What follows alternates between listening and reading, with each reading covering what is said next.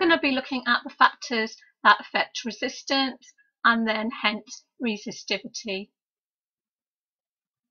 First we're going to consider a piece of wire which has length L and cross-sectional area A and it has a resistance R.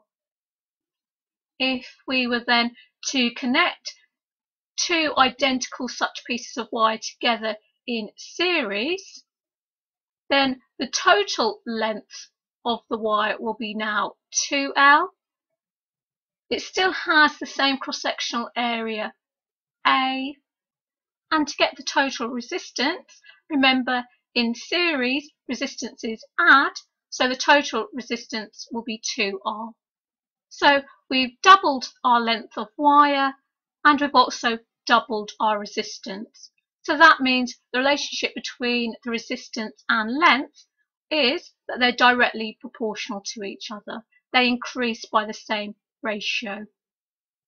And that is true if we've kept the cross-sectional area the same. We're now going to consider this identical piece of wire, two of them now connected in parallel. The length of the wire will be L, but now the total cross-sectional area of the wire will be 2A. To get the total resistance, we need to use the equation for resistance in parallel. So that is, we add the reciprocals. So 1 divided by our total resistance will equal 1 divided by R plus 1 divided by R. So that equals 2 divided by R. To get R total then, we take the reciprocal of 2 divided by R.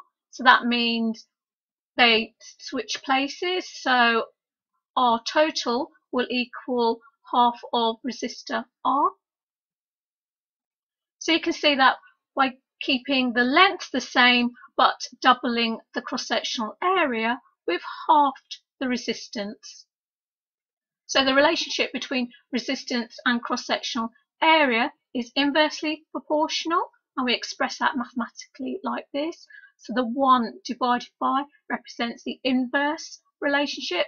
So R is proportional to the inverse of A. So R is inversely proportional to A. So resistance R is directly proportional to length L if the cross-sectional area is kept the same and resistance R is inversely proportional to the cross-sectional area A if the length is kept the same.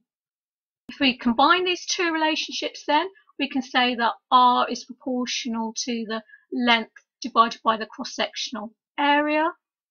And to get an equation, we need to introduce a proportionality constant, and that constant is known as resistivity, which is given the symbol rho.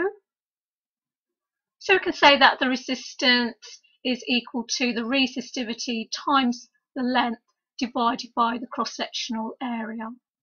This equation is showing you the three factors that affect resistance for a wire, and that is the resistivity, which is a constant for a given metal, L, the length of the wire, and A, the cross-sectional area of the wire. The resistance of a wire is also affected by the temperature of the wire and this is given from the resistivity. So you will have different resistivity values for a metal for different temperatures. And the higher the temperature, the larger the resistivity value and hence the higher the resistance.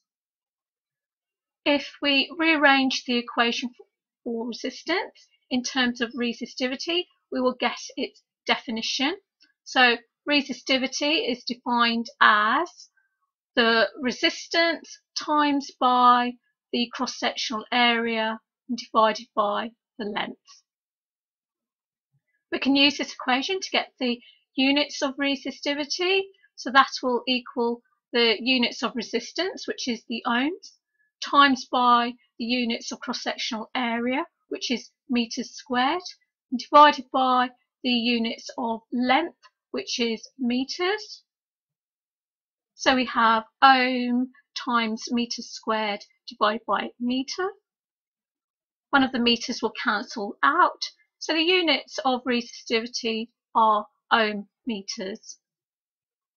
So in order for you to understand what the concept of resistivity means, resistivity, its name is very similar to resistance. So it's a measure of resistance, but it's a measure of resistance when we're looking at a length of wire of one meter and a cross-sectional area of wire of one meter squared. So if L and A equals 1, we can then see the resistivity will equal our resistance. So the resistivity of a material is a constant in that it does not depend upon the length of the wire or the cross-sectional area, unlike resistance. So if we wanted to identify which material was the best conductor of electricity, we would look at its resistivity value and not its resistance value, which we know would depend upon the length and cross-sectional area of the material.